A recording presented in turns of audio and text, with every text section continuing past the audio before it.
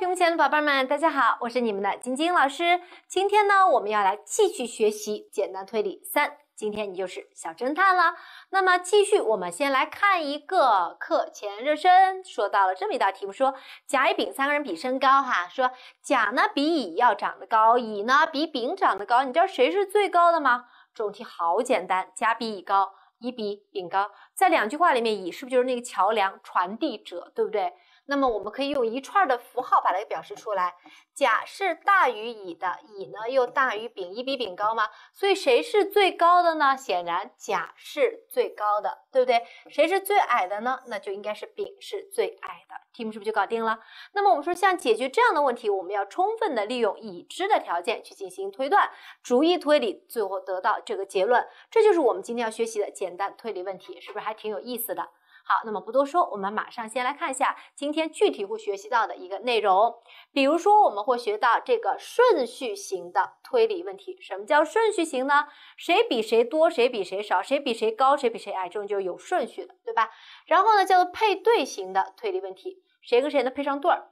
第三个真假型，说的话里面有真有假，以及还有正方体中的推理问题，这四块是我们今天会接触到的内容。那么你做好准备了吗？马上来看一下今天的例一这道题目，说呢在桌子上面放有三盘苹果，小猫就说了呀，说第一盘比第三盘要多三个苹果，小狗说第三盘比第二盘少五个。嘿，他们的两句话里面一块多一块少，让人容易晕，对不对？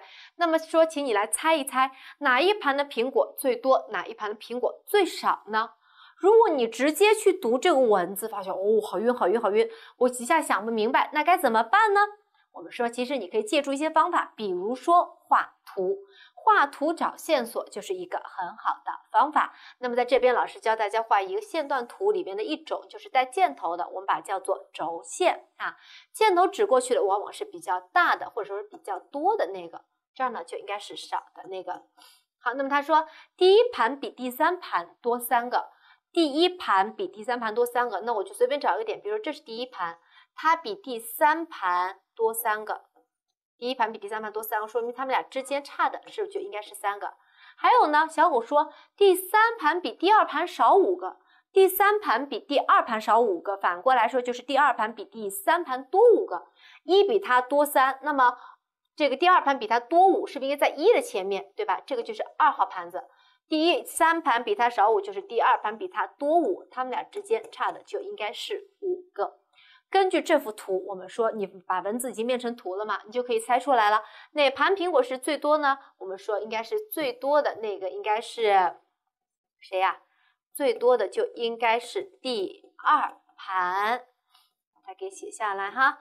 那么哪盘苹果是最少的呢？我们发现最少的就应该是第三盘。好，那么这道题目其实这样子回答，只是回答最多最少的话是非常简单的。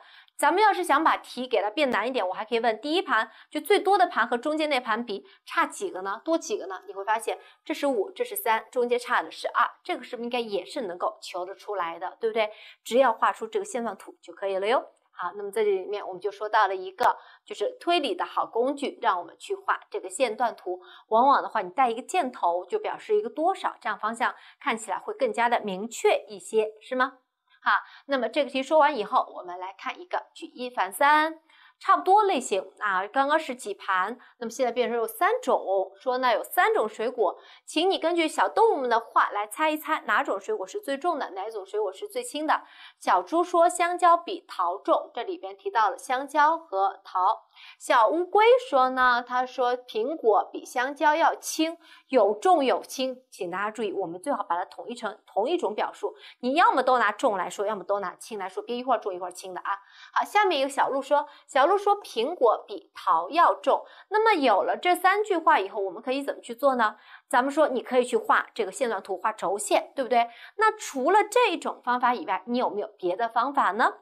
其实像课前热身里面，老师说甲比乙重，乙比丙重的话，我们是不是用到大于小于符号？我们在这里面的话，是不是应该也可以按照一个质量，质量就重量嘛，对吧？进行一个排序，就用这个大于小于符号来排下去。比如说做做看，他说香蕉比桃重，我写简单一点，就写一个香字，好吗？大家看得懂就行。香蕉比桃重，我用大于符号来表示，是不是就香大于桃？第二个，苹果比香蕉轻，哎，你想，苹果比香蕉轻，是不是意味着香蕉比苹果要重？香蕉比苹果重，我要统一成同一种大于小于符号啊，你不要一下子全部一会儿用大一会儿用小的，这个容易看错了。第三个小鹿说，苹果比桃重，那就是苹果大于桃。好，那有了这个东西以后，你能不能把这三个式子给它合并到一起去看呢？你能看得出来吗？其实后两个里边就可以把它合并在一起，香蕉大于谁？大于苹果，而苹果大于桃子。所以后两个式子就已经是用过了的，对不对？那么第一个式子有没有用上呢？他说香蕉大于桃子，香蕉大于桃子，你看是不是应该也是成立的？所以你把后两步式子给它合并在一起以后，第一步式子是可以帮助你去进行一个检验的。我们题目是不是就已经做出来了？写完这个以后，看看回答问题，他问我们是什么？哪种最重？哪种最轻？对吧？那么我直接写到这边来了，最重的就应该是香蕉。那么他又问我哪种水果是最轻的？最轻的应该是桃，对吧？应该是桃。那你看这道题目是不是就做出来了？所以我们说这种就是有顺序推理的，就谁比谁大，谁比谁小，谁比谁轻，谁比谁重，这种比较型的有顺序的，我们可以用两种方法来解决它。第一种就画轴线。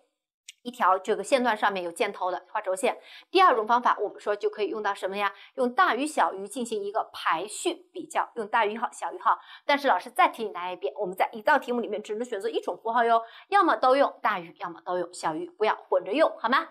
好，那么这道题目说完以后，我们马上来看下一个举一反三，就是说到呢什么呀？简单推理里面，如果说顺序型推理的话，它还有一个好的工具就是顺序图，两种东西，线段图这个顺序图两种都很好用，要掌握起来哟。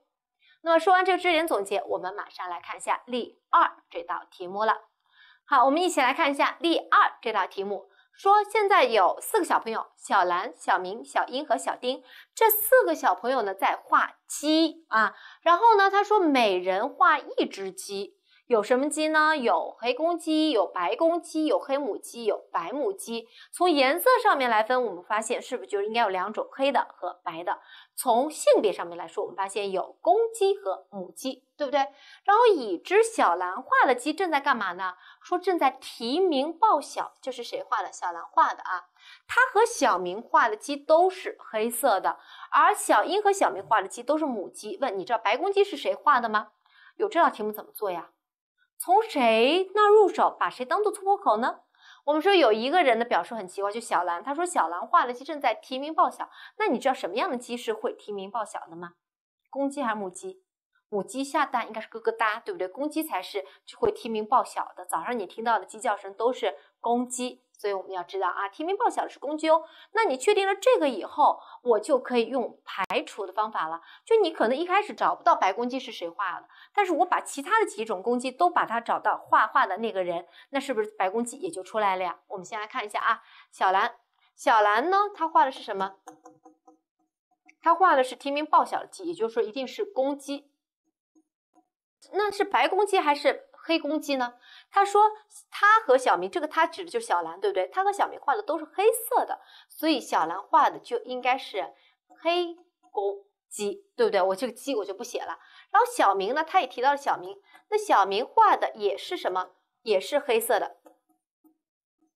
我写一个黑色啊，然后呢，又说小英还提到了小英了。那么小英呢？他说小英和小明画的都是母鸡，小明画的是黑色的，而且还是母鸡，那它就应该是母鸡。而小英呢？小英画的也是母鸡，只不过它是什么母鸡？既然小明已经画了黑色的母鸡，那么小英画的只能是白色的母鸡了。此时我们说黑公鸡、黑母鸡、白母鸡都有了，是不是只剩下？白公鸡没人画了，那你说白公鸡应该是谁画的呢？剩下一个小朋友了，小兰、小明、小英，只剩下小丁了。所以这个是不是就是我们的答案了？他问我白公鸡是谁画的呢？哎，我们发现应该是小丁画了白公鸡。你看这道题目是不是也就做出来了？我们用到的是一个排除的方法，大家来看一下排除法。当你去掉了几个其他的选项，我就把这个白公鸡是谁画的，是不是就锁定在目标，就把它给锁定住了？呢，先排除掉其他选项，再锁定正确的选项。这种方法叫排除法，你